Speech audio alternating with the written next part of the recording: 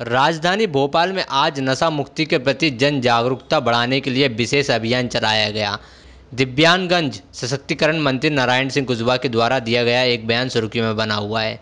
नारायण सिंह कुशवाहा ने महिलाओं से अपील की कि वो अपने हस्बैंड को सामने बैठकर पिलाएँ। उन्होंने कहा कि घर में शराब पिलाएँ। नशा मुक्ति के लिए पत्नियाँ पतियों को घर पर शराब लाने के लिए कहें। पतियों को अपने सामने पीने को कहें। धीरे धीरे पत्नियों के सामने पति को बैठकर पीने में शर्म आएगी। बेखुद शराब पीना छोड़ देंगे। हर जगह सिर्फ़ उनके बयान की ही चर्चा हो रही है। आपको बता दें कि राजधानी भोपाल में नशा मुक्ति अभियान के अंतर्गत जन जागरूकता रथ निकाला गया। जब तक जन भागिता सहभागिता लोगों की ना हो,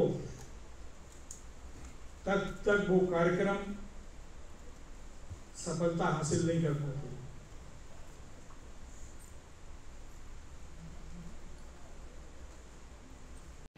तो भाभी शराब बंद है पर पीने वाले वहाँ भी नहीं माने और वहाँ भी पीते पर अपन अभियान के माध्यम से इस सबसे बड़ा इसमें योगदान है घर की माता और बहनों का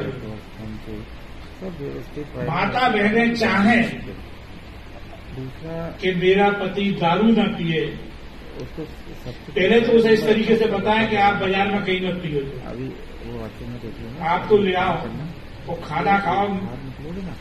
मेरे सामने गया सामने पिएँगे उनकी लिमिट कम होती जाएगी।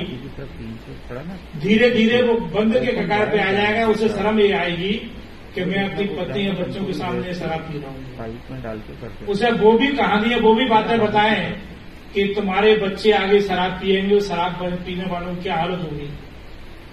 शराब उसकी बंद होगी, ये बिल्कुल प्रैक्टिकल है।